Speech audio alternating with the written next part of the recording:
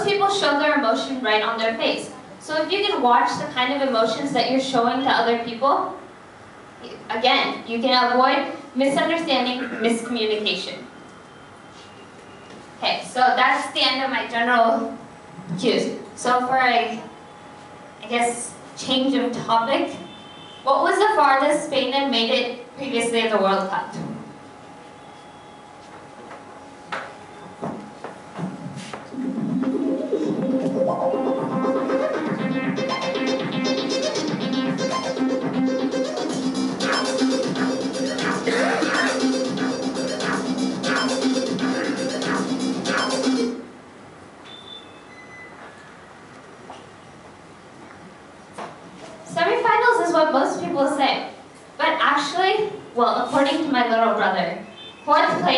They did get fourth place in 1950. He's actually sleeping right now.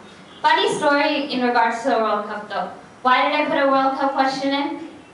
Well, Manu and I would usually watch the matches in the morning because that's when it would come when we were at home. But we came to India, and the first night that we were in Vellore was the finals. And I was rooting for Spain, and Manu was rooting for Netherlands. And the match started, I think, at 11, and I was up until 3.30 watching everything until it was over. So we're both rooting for our own teams, and saying, go Spain, go Spain. And Manu was getting really frustrated, and as soon as Spain scored, Manu said, this is useless. And he went upstairs, he was really, really angry that the team that he wanted to win lost. But unfortunately, he's asleep right now, or else I could make him feel a little bit worse about Netherlands losing. So, back to the topic. When you're giving good news to a patient, what do you do? First thing, easiest thing, smile. Oftentimes people forget to do it, but it's such a simple thing. Just smile at them. Say it with confidence. Say it knowing what you know. Use encouraging words so that they know that it's a good thing and allow the patient to respond to your words. Not necessarily saying something like, thank you, doctor, or is this what it is, doctor, but just wait for their face to change to a positive thing. Wait for them to smile, or wait for them to show that look of relief on their face. But bearing good news is an easy thing. What's a little bit more difficult? Bearing bad news. In this case, don't smile unnecessarily. People smile when they're nervous. It's, it's a crutch. It's something people lean back on. But if you smile unnecessarily, people might get the wrong idea. And it can be very, very misleading. To them, as though it's not as grave, as, grave of a situation as it is. Make eye contact and be empathetic. Eye contact, as I said before, is one of the crucial aspects of communication and of a relationship when you know somebody or you're close to somebody, you tend to make eye contact a little bit more. And as a doctor, you're somebody that these patients trust a lot. They're putting their lives into your hands, and you have that duty. And don't try to downplay the situation by using more like nicer words, making it sound better. Because sometimes, again, it can be very misleading and it can give them false hope that the situation might get better. But sometimes they need to know how important and how grave and serious the situation is for them to act accordingly and to take the necessary steps.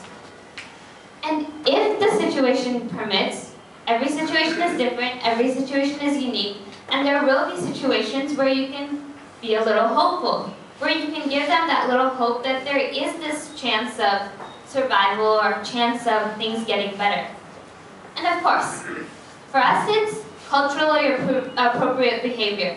Every culture has different cues, different stigmas. There are different things that are social faux pas. There are things that you can and cannot do.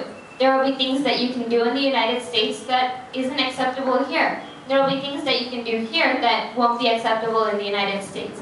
It all changes based on culture. And if you can take, in that, take into account these cultural differences, you can make a big difference.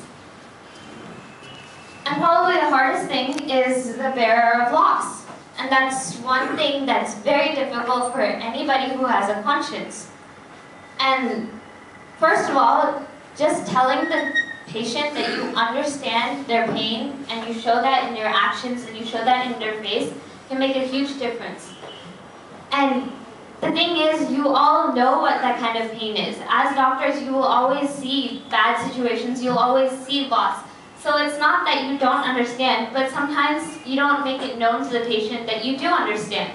And if you can just convey to them the emotions that you're feeling inside, outside, they can feel like they have somebody to lean on and that there's somebody else who understands the situation that they're in. Be truthful and direct. Tell it to them as it is. But at the same time, don't make it unemotional, don't be stoic, don't be indifferent to the situation. A lot of times you won't be indifferent, but it might seem like you are indifferent. Let what's on the outside reflect what's on the inside. Sometimes intent and what you do don't match up. I'm sure all of you have heard the phrase, the ends justify the means. What happens in the end justifies the way that you went about it. But a lot of times when it comes to the medical field, intent is very, very important. What you mean is extremely important because it's the way that you take action to solve certain problems. But at the same time, you have to look at the ends as well. What do you get the, as the end result? And the most important thing is to show that you understand. And if they are available, offer them access to support groups in the community, in the hospital, anything that you know of where they can find other people to lean on, other people to relate to. My dad has one called Sac Kid Diabetes, and the Sacramento parents of, with children who have diabetes come onto this online support group and they post messages of any problems that they have, any good things that they've been experiencing with their children, and their diabetes and managing their diabetes. And a lot of parents are willing to offer the help that they've uh, offer the help that they've received in the past to new patients, as well as just tell them the experiences that they've had so that these parents can feel a little bit better. Okay, again, before going to the next topic. And Okay, how much of the world's currency does India hold in its treasuries?